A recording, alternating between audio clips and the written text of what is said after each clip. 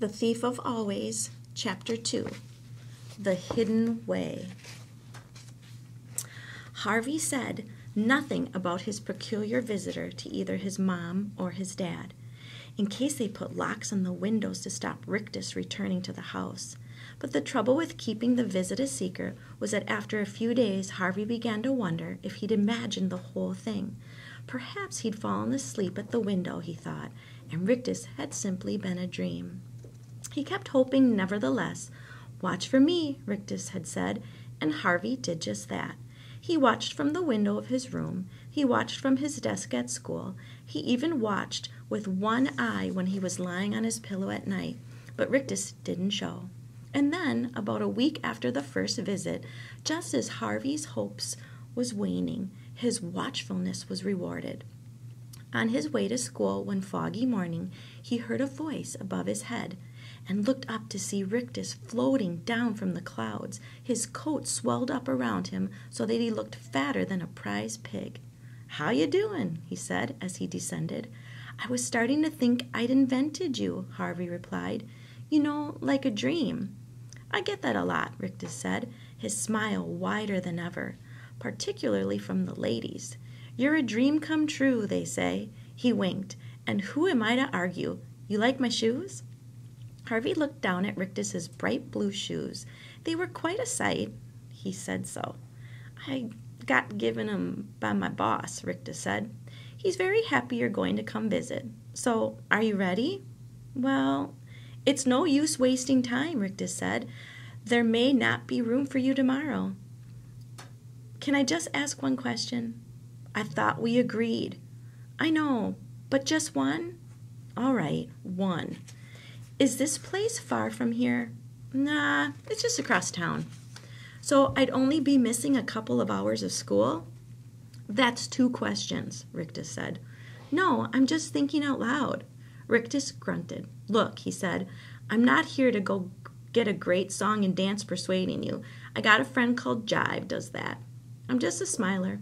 I smile and I say, Come with me to the holiday house. And if folks don't want to come, he shrugged, Hey, it's their hard luck. With that, he turned his back on Harvey. Wait! Harvey protested. I want to come, but just for a little while. You can stay as long as you'd like, Rictus said, or as little. All I want to do is take that glum expression off your face and put one of these up there. His grin grew even larger. Is there any crime in that? No, said Harvey. There's no crime. I'm glad you found me. I really am. So what if he missed all of morning at school, he thought. He'd be it'd be no great loss. Maybe an hour or two of the afternoon as well, as long as he was back home by three. Or four. Certainly before dark. I'm ready to go, he said to Rictus. Lead the way. Millsap, the town in which Harvey had lived all his life, wasn't very big, and he thought he'd seen just about all of it over the years. But the streets he knew were soon behind him, and though Rictus was setting a fair speed, Harvey made sure he kept a mental list of landmarks along the way in case he had to find his home on his own. A butcher's shop with two pigs' heads hanging from the hooks, a church with a yard full of old tombs beside it, the statue of some dead general, and covered from hat to stirrups on pigeon dung.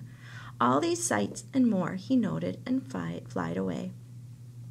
And while they walked, Rictus kept up a stream of idle chatter. I hate the fog, just hate it, he said, and there'll be rain by noon. We'll be out of it, of course. He went on from talk of rain to the state of the streets. Look at this trash all over the sidewalk. It's shameful. And the mud, it's making a fine old mess of my shoes. He had plenty more to say, but none of it was very enlightening. So after a while, Harvey gave up listening. How far was this holiday house, he began to wonder. The fog was chilling him, and his legs were aching. If they didn't get there soon, he was going to turn back. I know what you're thinking, said Rictus. I bet you don't. You're thinking this is all a trick. You're thinking Rictus is leading you on a mystery tour, and there's nothing at the end of it. Isn't that true? Maybe a little. Well, my boy, I've got news for you. Look up ahead. He pointed, and there, not very far from where they stood was a high wall which was so long that it disappeared into the fog to the right and left. What do you see? Rictus asked himself. A wall, Harvey replied, though the more he stared at it, the less certain of it he was. The stones which had seemed solid enough at first sight now looked to be shifting and wavering, as though they had been chiseled from the fog itself and piled up here to keep out prying eyes. It looks like a wall, Harvey said, but it's not a wall. You're very observant, Rictus replied admiringly. Most people just see a dead end, so they turn around and take another street. But not us. No, not us. We're going to keep on walking. You know why? Because the holiday house is on the other side. What a miraculous kid you are, Rictus replied. That's exactly right. Are you hungry, by the way? Picture.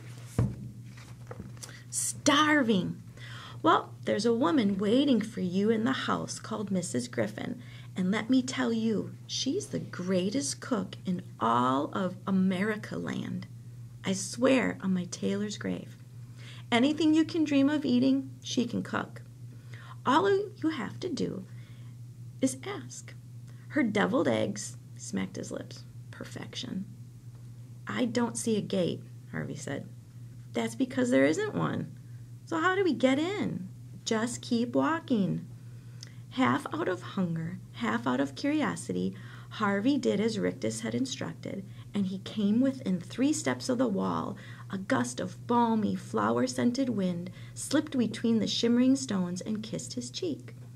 Its warmth was welcome after his long, cold trek, and he picked up the pace, reaching out to touch the wall as he approached it. The misty stones seemed to reach for him in their turn, wrapping their soft gray arms around his shoulders and ushering him through the wall. He looked back, but the street he'd stepped out of, with its gray sidewalks and gray clouds, had already disappeared. Beneath his feet, the grass was high and full of flowers. Above his head, the sky was midsummer blue, and ahead of him, set at the summit of a great slope, was a house that had surely been first imagined in a dream.